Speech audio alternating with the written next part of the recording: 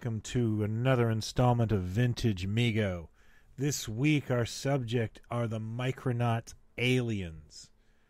This is about just all about the first series, and they, to me, are some of the coolest action figures Mego ever made. Also, on a personal note, they're a really special memory to me.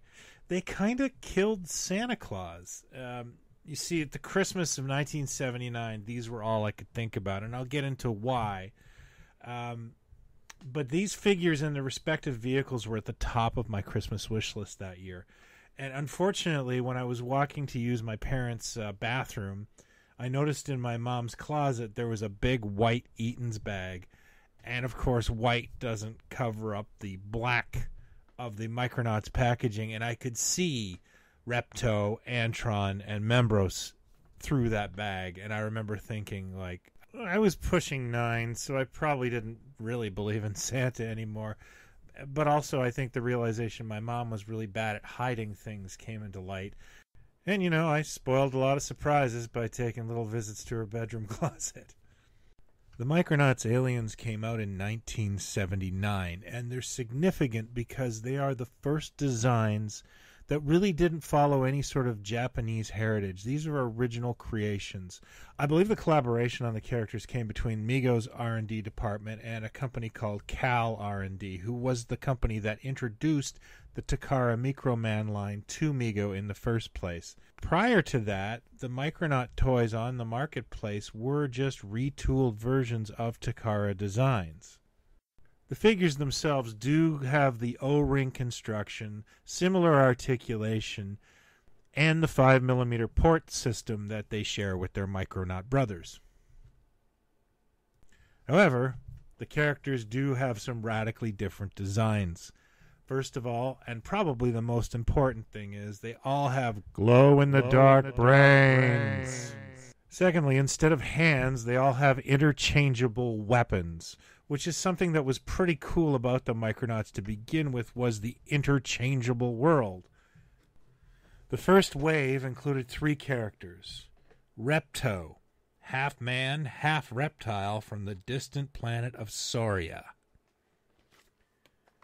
Antron, the sixth limb invader from the faraway galaxy of Thoraxid and Membros, the slithery skinned invader from the remote world of Visceros.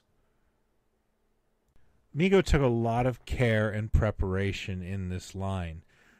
Instead of using the standard Micronauts packaging, they enlisted legendary album painter Ken Kelly to create new packaging art that would stand out from the traditional Micronauts line. Kelly told me in an interview that he was instructed to make each character look 10 feet tall.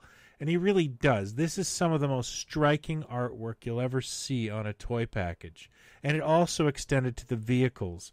So in 1979, Ken Kelly also painted the box artwork for the Hornetroid and Terrafant vehicles that were to accompany the aliens. Mego also put together a pretty great marketing campaign. The Micronaut aliens would be seen in comic book ads and, of course, on television. And let's take a look at the TV. They glow in the dark. Lights on! Alien creatures with brains that glow in the dark, each sold separately. Repto, half reptile.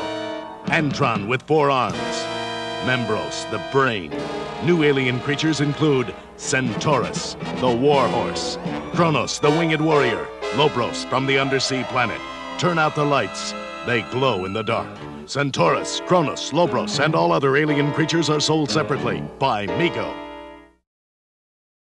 So, according to my friend uh, Ray Miller, aka Acro Ray, who is much more knowledgeable on the subject than me, the Micronaut aliens, especially the first series, came from Cal R&D, Mego asked Kyle R&D to create some more Western-style toys for the Micronauts line.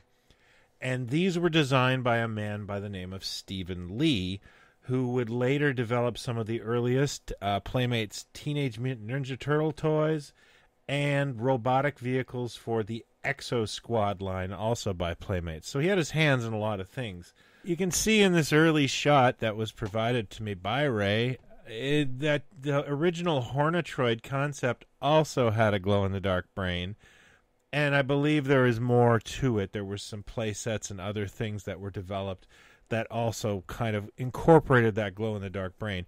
The, the Hornetroid did not have a brain, neither did Terrafant, but I kind of love the idea that they were trying to spread that out.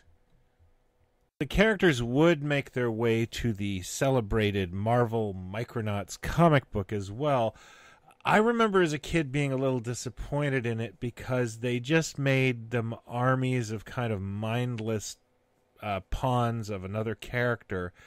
Whereas in my world, I really viewed them as having distinct personalities. These were my bad guys that I used in Star Wars fights along with the Micronauts. These in my head as a kid, these guys were major villains, not somebody's goons or lackeys. They were the big boss you fought at the end, and they, you know, they gave Luke Skywalker and the crew of the Palomino and Enterprise a, a real run for their money. The aliens were sold internationally as well. They were picked up in Canada by Grand Toys, in France by Pin Pin, and in Italy, where the Micronauts were extremely popular by a company called GIG. I'm not 100% if they were released with the Airfix logo in the UK or Germany, but they did get kind of a worldwide release. These figures proved very popular and did there was a second series which I'll get into in another video. A curious thing happened around the early 1980s when Mego was kind of going through rough times figures of Antron, Repto, and Membro started showing up on these weird Lion Rock cards. The most curious thing about them is they do not have any of their accessories. This is a real factory closeout special, and there is a lot of weird oddball Mego stuff that came out around that time, and we've we've covered some of it in our videos. But there's you know Mad Monsters made a reappearance. Uh, there's Aquaman on Superman cards. It's just total chaos, and the Micronauts got swept up in that. The Micronaut alien molds were retooled in the early 1980s by a company called Phoenix Pack Toys, who actually owned Mego for a brief time, into a toy line called Lords of Light. We've done a video on the Plaid Stallion side of things on that, and I will include a link. Antron, Repto, and Membros had body parts and pieces reused for this line of glowing action figures. Unfortunately, just as the series launched, Phoenix Pack went through legal troubles themselves, and the basically one wave of figures got released. It's a real shame. In 2002, Palisades Toys reissued the Micronauts brand, including Membros and Repto, in various colors and different formats, adding things like hands for Membros. Unfortunately, it was plagued with production problems. These guys got some really brittle plastic coming to them, and I think they got a raw deal. So, unfortunately, the Micronauts' return was very brief and ended in 2003. Nowadays, Hasbro owns all of these characters, and there is a lot of talk of movies, an interconnected universe with G.I. Joe and Transformers and Mask and Visionaries and whatever else they own. So we may one day see Membros, Antron, and Repto reappear, maybe on the big screen. Hopefully, we'll be able to recognize them. Did you have the Micronaut aliens as a kid? What was your favorite? let me know in the comments or on Twitter at Mego Museum. Please check out our Facebook page and Facebook group, Megomania, and let's have a conversation. Thanks again for watching. Hope you enjoyed it.